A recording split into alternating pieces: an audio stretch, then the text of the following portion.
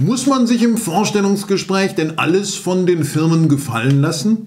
Meine Antwort ist ganz klar, ich sage nein, das müssen Sie nicht. Es gibt sogar fünf Gründe, ein Vorstellungsgespräch vorzeitig abzubrechen. Welches diese Gründe sind, das werde ich Ihnen gleich erzählen. Mein Name ist Martin Wehrle. Sie kennen mich vielleicht als Deutschlands bekanntesten Karriereberater und als Autor von Büchern wie Noch so ein Arbeitstag und ich drehe durch und gleich geht's los.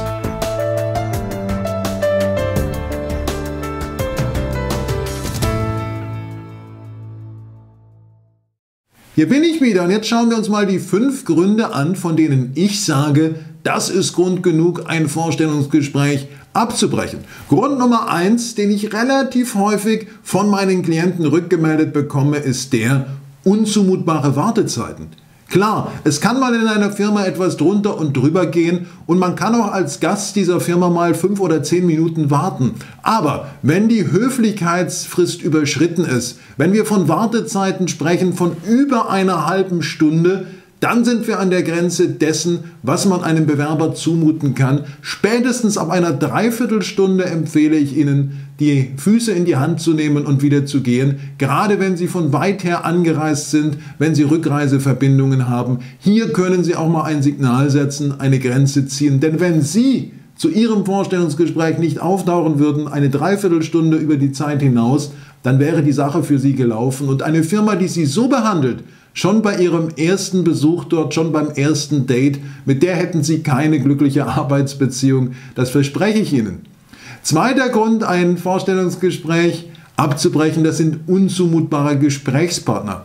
Man hat ja manchmal Gesprächspartner, die sich pflegelhaft benehmen, die Unverschämtheiten von sich geben, die einfach nur wie die Axt im Wald agieren, das sind meistens nicht Personaler, sondern das sind Fachvorgesetzte oder manchmal auch Geschäftsführer. Und wenn jemand gegenüber Ihnen jedes Gesetz der Höflichkeit verletzt, wenn jemand sogar unverschämt wird durch die Art, wie er auftritt, dann finde ich auch, können Sie eine Grenze setzen und ein solches Gespräch mit dem Hinweis darauf verlassen, dass Ihnen das Verhalten nicht gefällt und dass Sie nicht vorhaben, sich das jeden Tag gefallen zu lassen.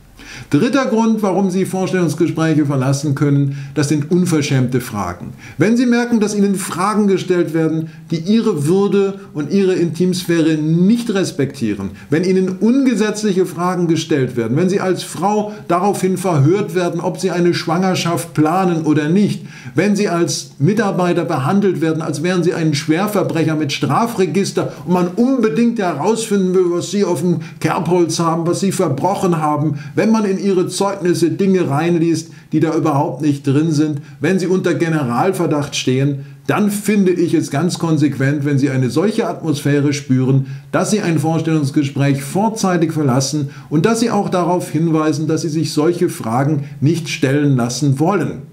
Ich komme auf den vierten Punkt zu sprechen, das sind pauschale Diffamierungen. Ich habe es gerade neulich erlebt, da hat sich jemand beworben aus einer Arbeitslosigkeit heraus bei einem mittelständischen Unternehmen und der Chef, der fing dann an, über Arbeitslose zu sprechen, dass ja die meisten, die mehrere Monate arbeitslos sind, gar nicht arbeiten wollen, dass die Faulheit umgeht. Und mein Klient, der war halt auch ein Dreivierteljahr arbeitslos, der hat gemerkt, dass er hier angegriffen, dass er hier diffamiert wird Warum hat man ihn dann eigentlich zu diesem Gespräch eingeladen, frage ich mich. Und er war dann so konsequent und hat das Gespräch verlassen. Jetzt gibt es noch einen fünften Grund, warum Sie ein Vorstellungsgespräch verlassen können.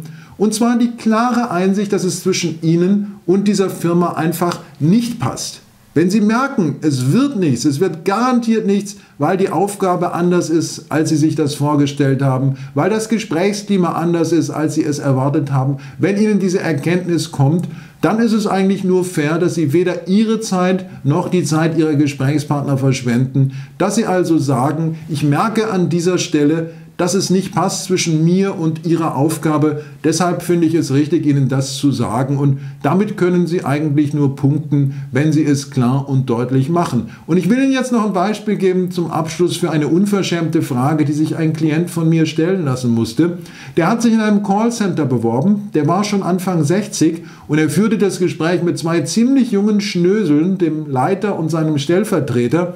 Und irgendwann gegen Ende des Gespräches, da senkte dann der Callcenter-Leiter seine Stimme und flüsterte, können Sie mich hören?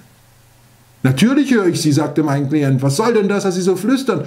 Ja, ich wollte mal testen, ob Ihre Ohren noch in Ordnung sind in diesem Alter. Da ist er aufgestanden, da ist er gegangen. Das finde ich richtig gut, wenn man sich an der richtigen Stelle abgrenzt. Wenn Sie es interessiert, wie Sie im Vorstellungsgespräch so richtig tolle Antworten geben, schauen Sie in meine Geheimakte Vorstellungsgespräch. Da sind die 150 besten Antworten drin und noch ein Geheiminterview mit einer Personalerin. Lassen Sie gerne den Daumen nach oben weisen, wenn Ihnen dieses Video gefällt. Verlinken Sie es, legen Sie Playlists an, abonnieren Sie den Kanal. Darüber freue ich mich und am meisten freue ich mich, Sie hier wieder zu sehen. Ihr Martin Wehrle.